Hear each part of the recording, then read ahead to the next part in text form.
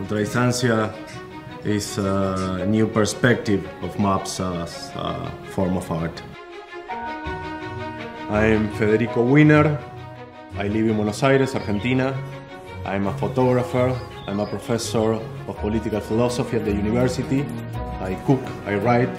I have experimented with different art disciplines and I have traveled all my life. Google Earth is an amazing tool that let everybody look for amazing places on the earth. But for me as a photographer, it allows me to search for patterns or contrast or geometric forms that I can turn into pieces of art.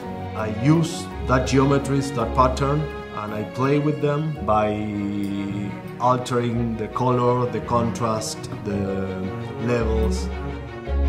In ultradistancia, I use satellite images beamed to us by Google Earth and capture them in very high resolution.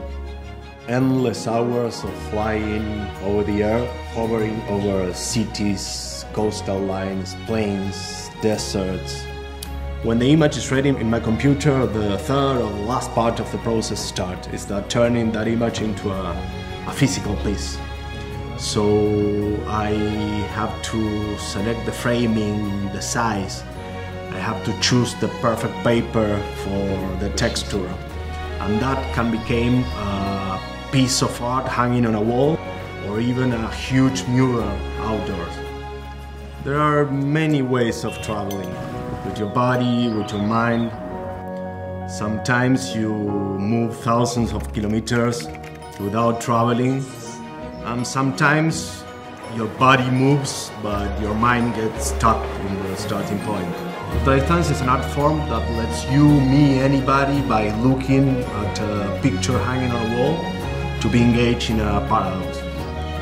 Travel without moving.